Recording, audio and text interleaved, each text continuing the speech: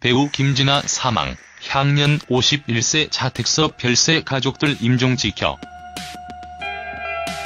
배우 김진아 사망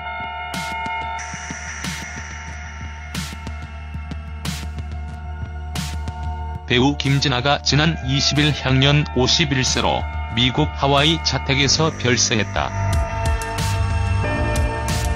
김진아의 동생인 배우 김진근의 소속사 태원아트 미디어는 21일 한 매체를 통해 김진근 씨와 가족들이 김진아 씨의 임종을 지켰다면서 김진근 씨가 누나와 마지막 시간을 보내기 위해 두 달 전 하와이로 떠났고 오늘 아침 부고 소식을 전해왔다고 밝혔다.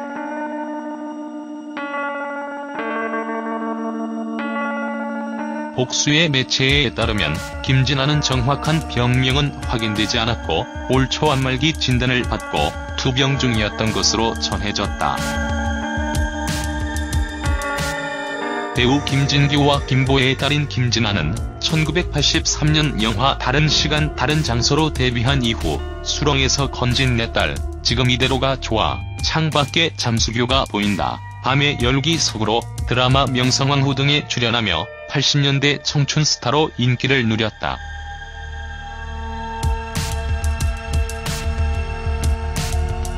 고인은 지난 2000년 미국인 케빈 오제이와 결혼하고 아들 매튜 오제이와 함께 하와이에서 거주해왔다.